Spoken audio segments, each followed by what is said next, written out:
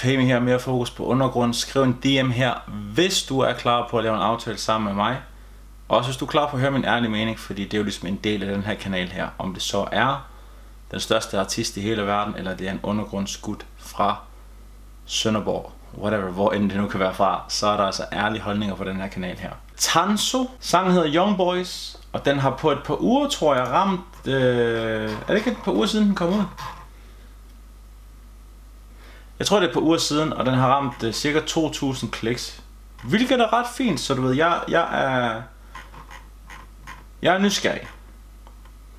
Tanso Young Boys. Jeg kunne forstå, så har han ikke Instagram, så du ved, at jeg har faktisk kommunikeret med en anden omkring at få det her sat op. Meget interessant i 2022 at ikke at have det som artist. Øh, ja. Men lad os se den. Musikvideo. Det ligner, det er igen præsentabelt. Det ligner umiddelbart, at det er en okay video. Lad os høre det her og se, om det er magisk. I'm asking is not for you. It's to protect the people you care about. Count to five, then throw. Ja, vi er stadig young boys Ja, vi er stadig homeboys For vi er stadig hot boys For vi er stadig block boys Ja, vi er stadig young boys Ja, vi er stadig homeboys For vi er stadig hot boys for vi stadig block boys Ja, vi stadig young boys Ja, vi Øh, et omkvæd, som egentlig måske har noget potentiale, men det dør lidt, når det bare er det samme, der bliver gentaget og leveret på samme måde to gange. Der hvor det kommer anden gang, der kunne man måske have leget lidt med, hvordan man havde leveret det. Bare måske et godt råd herfra, i forhold til at få det til at være mere interessant og ikke så monoton. Første vers fra Tanso. Ja, vi er stadig young boys Ja, vi er stadig unge i vores peak At danse med Joan, det er ikke fedt, så vi danser stadig lidt Og vand, man spiller hit, man De er rank rich eller hip, man Og man, man spiller hit, man Er du sick, eller er du blind, man Man, man spiller hit, og Krystal klar Som en Bentley Spred poesi. Som Machiavelli Er hverken Che Gucci Eller Fendi. Vil ikke være kendis, men meget. Spiller ikke tid, tænker ikke højt Har det godt, jeg er komfort Ligesom Freud Panzer banker på Observer dem, kald mig Sherlock Holmes Ingen rivaler som de siger. John Jones Solen skinner, så vi 105 Drengene med så blok 5 Bænken, drømmen om at kunne kusin X5 Solen skinner, så vi 105 Drengene med så blok 5 Bænken, drømmen om at kusin X5 Ja, vi stadig young boys.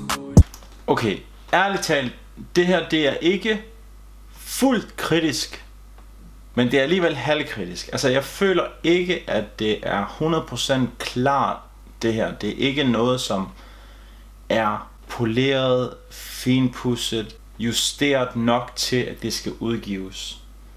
Jeg kan godt forstå, hvis nogen af Tansos nærmeste synes, at det er godt, og sådan, åh, oh, det er en fed video, og du ved, det er vores bro, og sådan nogle ting. Jeg forstår det godt. Men man må også gerne huske det der med at være kritisk over for det, man selv udgiver, men også for det, som ens ven spørger ind til.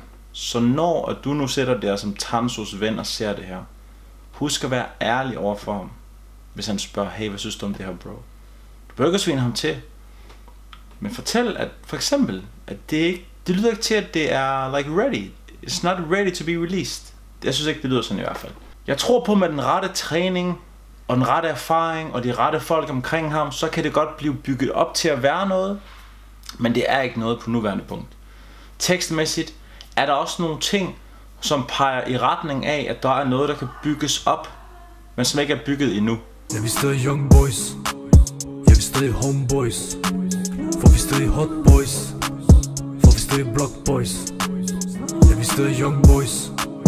Ja, vi stadig homeboys For vi stadig hot boys. For vi stadig block boys. Der er ingen yes man, de slækker køtte hvad de penge kan. Fuck din likes og din Instagram. Det bliver jo tit spillet som Pac-Man.